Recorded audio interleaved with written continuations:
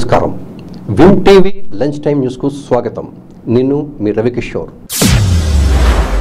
ఇక వివరాల్లోకి వెళ్తే స్థానిక శనివారపేటలోని శ్రీశ్రీ ప్రాంగణంలో సంక్రాంతి శోభ వెల్లవిరిసింది. చిన్నారులు అందరూ సాంప్రదాయ దుస్తులు ధరించి సంక్రాంతి విశిష్టత తిరిగి చేసే విధంగా సంక్రాంతి వచ్చిందే తొమ్మిద సరదాగా తెచ్చిందే తొమ్మిద అంటూ సంక్రాంతికి ఆహ్వానం పలికారు.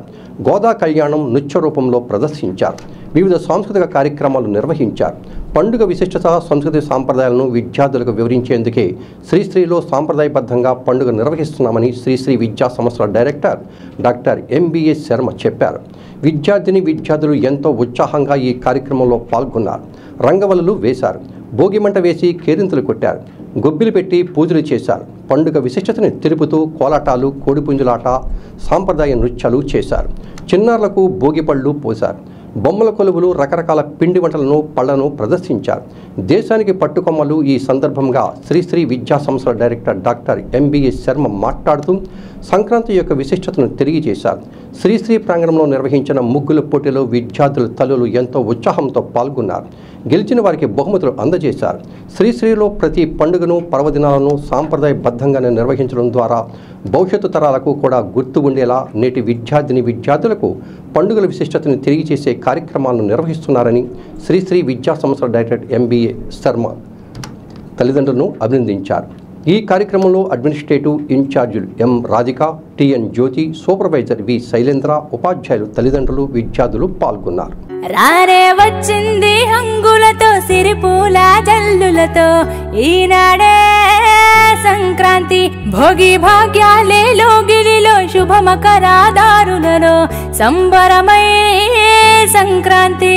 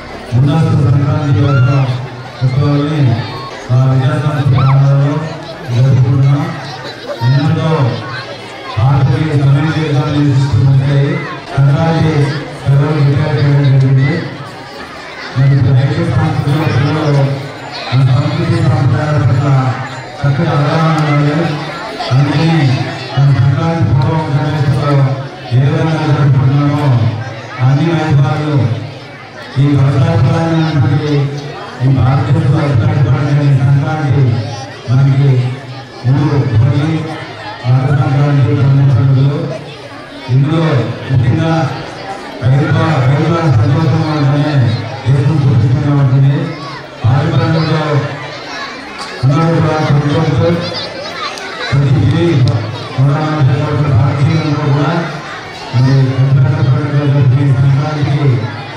ఇంటికి వచ్చే పండుగలు సమయమైన పిండి సంతోషంగా కొత్త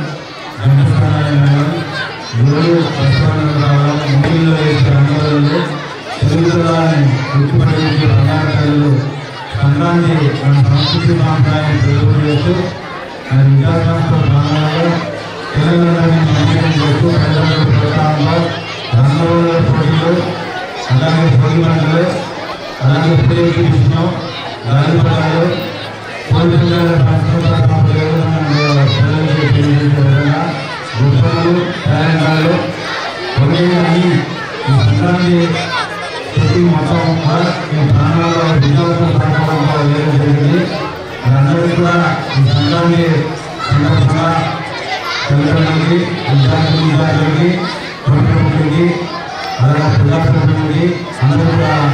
بعد إجماع الذي يسمعه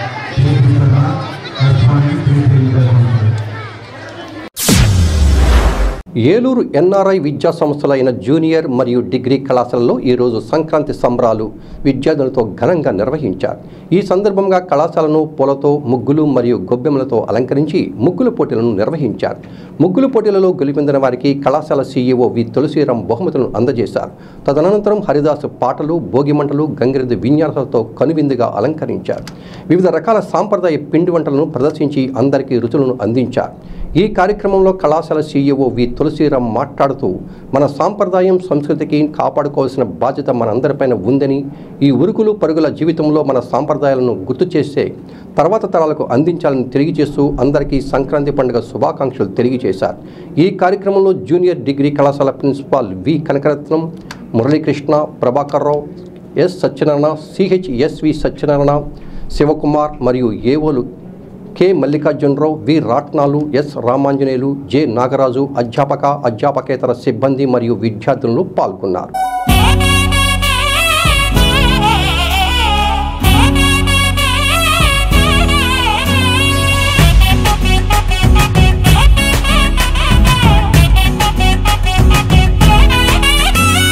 రంగుల పుట్టిల్లు తెలుగులో గిల్లు ముగ్గులతో వాకిట విరిసే హరివిల్లు. కురిసె మంచు జల్లు తెరిచే పూల కళ్ళు గొబ్బెమ్మల తలపై పువ్వులు వర్ధిల్లు పట్టు పరిగిడి కట్టి సుక్కల వరసలు పెట్టి సక్కని ముగ్గులు కట్టి వచ్చేనే సంక్రాంతి. కోడితో పందెము కట్టి ఎట్లతో పరుగులు పెట్టి ఊరే ఉరకలు వేసే ఉత్సవమే సంక్రాంతి. రంగుల పుట్టిల్లు తెలుగులో గిల్లు ముగ్గులతో వాకిట విరిసే హరివిల్లు. పూల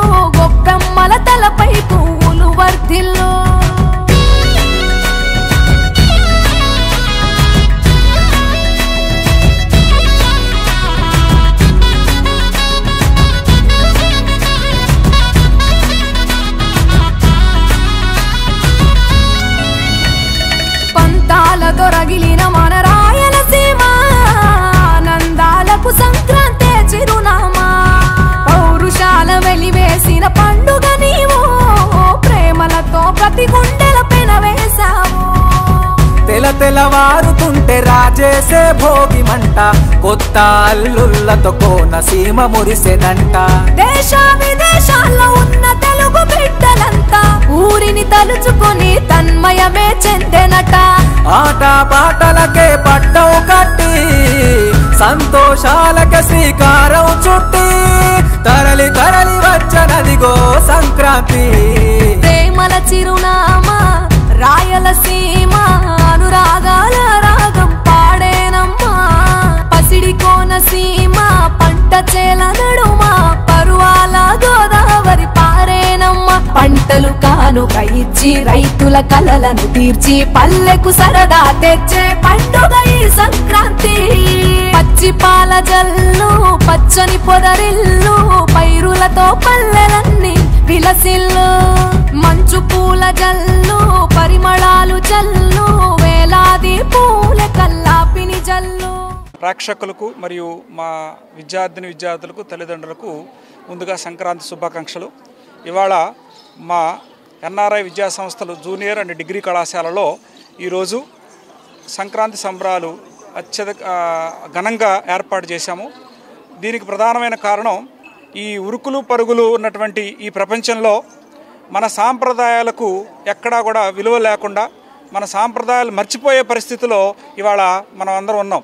దాన్ని ఉద్దేశించి మరి ప్రతి పాఠశాలలో అవ్వచ్చు ప్రతి స్కూల్స్లో ప్రతి విద్యా విద్యా సంస్థల్లో ఈ యొక్క సాంప్రదాయాలను గుర్తు చేస్తూ రాబోయే తరాలకి ఈ వేడుకలు అందరికీ తెలిసే విధంగా ప్రదర్శనలు చేయాలని అదే సంకల్పంతో మా కళాశాలలో ఈ యొక్క ఏర్పాటు చేయడమైనది మరి దీంట్లో భాగంగా మరి ముగ్గుల పోటీలు అదేవిధంగా భోగి మంటలు భోగి భోగి పళ్ళ కార్యక్రమం వివిధ రకాలైన పిండి వంటలతో ఈ కార్యక్రమం ఘనంగా ఏర్పాటు చేశాం. మరి దీంట్లో మా అధ్యాపకులు విద్యార్థులు విద్యార్థినిలు అదేవిధంగా మా స్టాఫ్ అందరూ కూడా మా ప్రిన్సిపాల్స్ అందరూ కూడా ప్రతి ఒక్కళ్ళు పాల్గొని దీన్ని సక్సెస్ చేశారు. మరి అందరికీ కూడా మరోసారి సంక్రాంతి శుభాకాంక్షలు తెలియజేస్తూ ఇలాంటి కార్యక్రమాలు ప్రతి స్కూల్స్లోనూ అదేవిధంగా గ్రామాల్లోనూ ఇది జర జరిపిస్తూ మన సాంప్రదాయాలు మున్ముందు ముందు కూడా ఇలాగే ఒక మంచి కార్యక్రమంలాగా చేయాలని అందరినీ కోరుకుంటున్నాం. Thank you. ఈ నెల ఇరవై ఐదున జిల్లా కలెక్టరేట్ వద్ద ధర్నా నిర్వహిస్తున్నట్లు సిపిఐ ఏఐటియుసి ఏలూరు జిల్లా సమితి పిలుపునిచ్చింది. బుధవారం స్థానిక సిపిఐ జిల్లా కార్యాలయం స్ఫూర్తి భవనం నందు సిపిఐ ఏఐటీయూసీ ఏలూరు ఏరియా సమితి ఆధ్వర్యంలో కార్మిక మహాగర్జన గోడపత్రికను ఆవిష్కరించారు. ఈ కార్యక్రమంలో పాల్గొన్న సిపిఐ ఏలూరు జిల్లా కార్యదర్శి మన్నవ కృష్ణ చైతన్యం మాట్లాడుతూ విశాఖ ఉక్కు పరిశ్రమను కాపాడుకోవడం ద్వారా బీజేపీ ప్రైవేటీకరణ విధానాలను నియంత్రించాలన్నారు. ప్రధాని నరేంద్ర మోడీ ప్రజల ప్రయోజనాలను విస్మరించి ప్రభుత్వ రంగ సంస్థలను సహజ వనరులను బహుళజాతి సంస్థలకు దోచిపెడుతున్నారని విమర్శించారు. ఈ నెల ఇరవై ఏడున విశాఖలో జరిగే కార్మిక మహాగర్జనకు మద్దతుగా ఇరవై ఐదవ తేదీ కలెక్టరేట్ వద్ద జరిగే నిరసనలు సిపిఐ ఏఐటీసీ శ్రేణులు ప్రజలు జయప్రదం చేయాలని పిలుపునిచ్చారు. ఏఐటీసీ జిల్లా కన్వీనర్ బండి వెంకటేశ్వరరావు మాట్లాడుతూ ముప్పై రెండు మంది ఆత్మ బలిదానంతో సాధించుకున్న విశాఖ ఉక్కును రెండు వేల పంతొమ్మిదిలో మోడీ అధికారం చేపట్టిన తర్వాత కుట్రపూరితంగా ప్రైవేటీకరణకు పావులు కదిపి ప్రకటన చేసిందన్నారు. సిపిఐ ఏలూరు ఏరియా సమితి కార్యదర్శి ఉప్పులూరి హేమశంకర్ ఏఐటియుసి ఏరియా కార్యదర్శి కృష్ణమాచార్యులు మాట్లాడుతూ ప్రజల ఆస్తులను కారు చౌకగా కార్పొరేట్ కంపెనీలకు అమ్మే చర్యలకు చమరగీతం పాడాలన్నారు.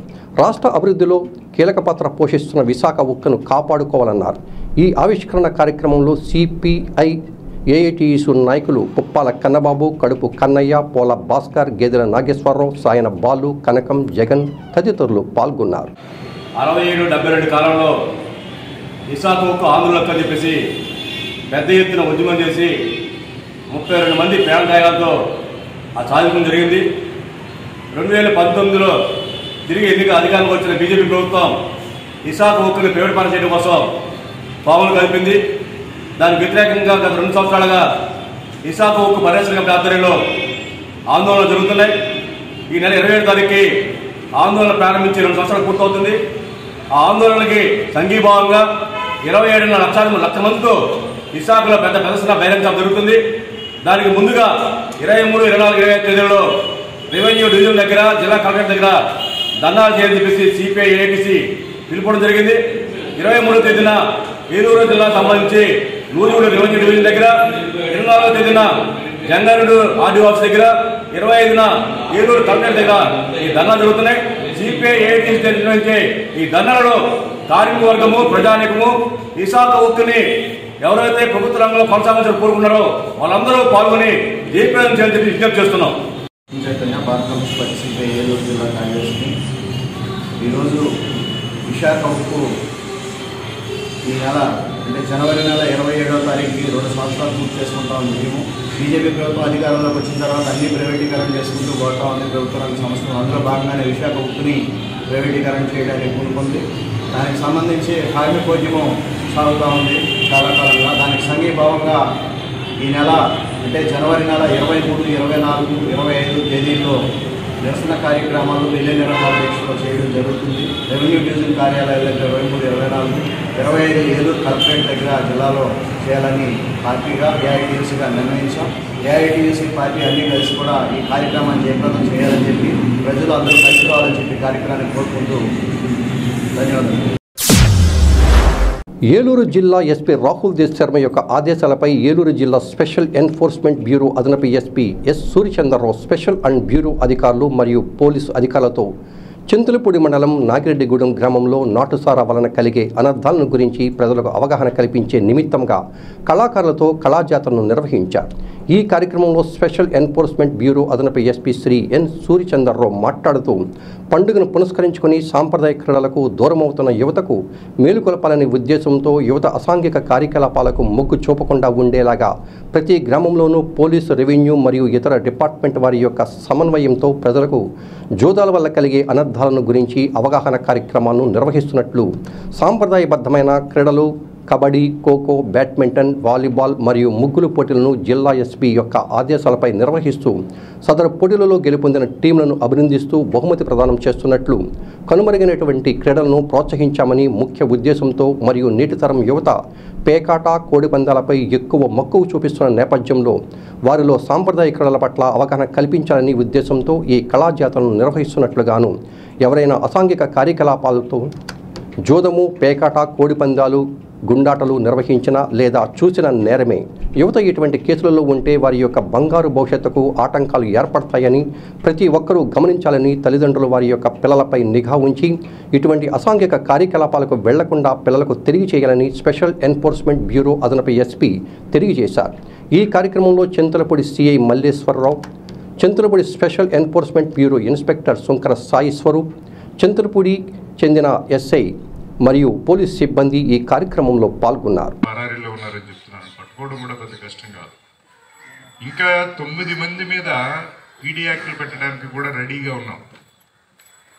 ఒకసారి పీడీ యాక్ట్ పెట్టమంటే గోండా యాక్ట్ వంద సంవత్సరాలు ఉంటుంది చరిత్ర. వాడు పిల్లోడు పిల్లోడికి పిల్లోడు వాడు మనవడు మనవడికి మనవడు వచ్చినా కూడా మీ తాతకి గోండా యాక్ట్ పెట్టారంట కదా.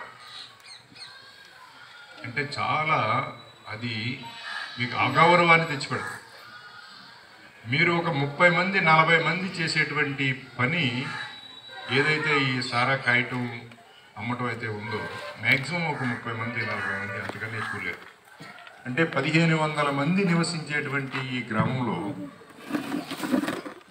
అంటే సుమారు నాలుగు వందలు ఒక ఒక నలభై మంది అంటే ఒక నా- ఒక ఏడెనిమిది కుటుంబాలు.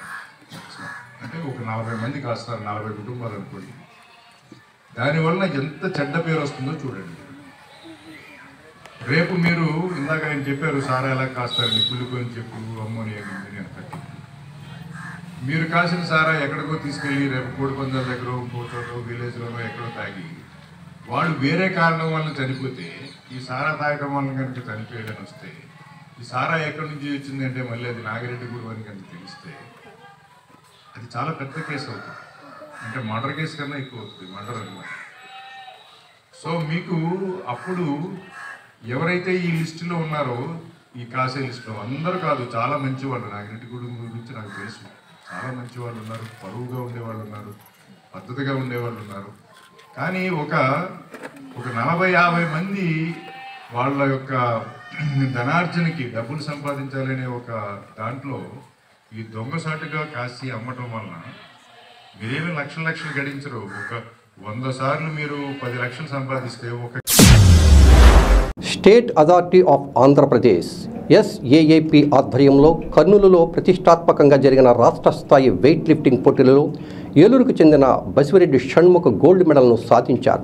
జనవరి తొమ్మిది పది తేదీలలో కర్నూలు ఇండోర్ స్టేడియంలో ఈ పోటీలు జరిగాయి. ఎనభై తొమ్మిది కేజీల విభాగంలో ఆయన గోల్డ్ మెడల్ను సాధించారు. ఏలూరుకు చెందిన రాష్ట్ర వెయిట్ లిఫ్టింగ్ అసోసియేషన్ కార్యదర్శి బడిటి వెంకటరామయ్య పర్యవేక్షణలో ఆయనకు శిక్షణ ఇచ్చారు.